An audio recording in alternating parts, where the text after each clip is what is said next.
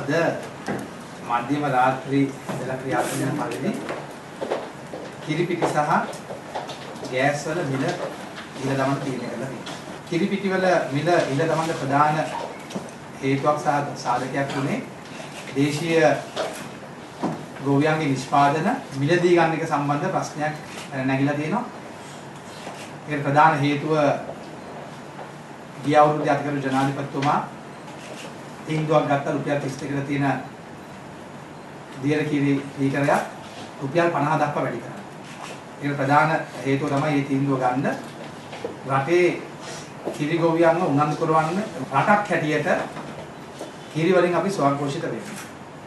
අපි බැලුවොත් බඩිරි වල අපි සම්බන්ධ තීන්දුවක් ගත්තා. අද අපි බඩිරිව සම්පූර්ණයෙන්ම ස්වයංපෝෂිත වෙලා තියෙන රටක් හැටියට. ඒ වගේ සහල් ගත්තාම සහල් වලින් අපි ස්වයංපෝෂිත වෙලා තියෙනවා. නිසා කිරි සම්බන්ධවත් අතිගරු ජනාධිපතිතුමා මේ තීන්දුව ගත්තා. ඒ නිසා මේ මිල වැඩි කිරීම, ඒ කියන්නේ රුපියල් 32කට තිබුණ ලීටරයක් රුපියල් 50 දක්වා වැඩි කිරීම තුලින් අද නිෂ්පාදනය 135ක් 40ක් දක්වා වැඩි වෙලා තියෙනවා රටේ දියර කිරි නිෂ්පාදනය. ඒ නිසා පහුගිය දවස් දෙක තුනේ කිරි මිලදී ගන්න එක සම්බන්ධව ප්‍රශ්නයක් ඇති වෙලා තියෙනවා.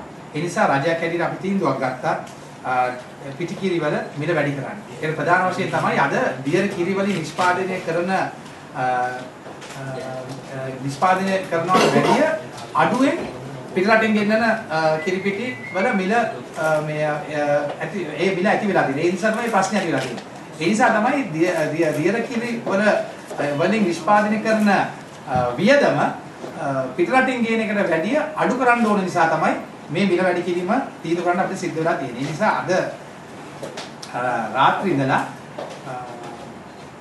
දැනට කිලෝ එක පවතින මිල 647යි.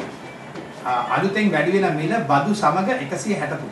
එතකොට පිටි කිලෝ එක මිල රුපියල් 810 දක්වා අද රාත්‍රී ඉඳලා වැඩි කරනවා. ග්‍රෑම් 400 පැකට් එකක් මිල 325ක් දක්වා වැඩි වෙනවා.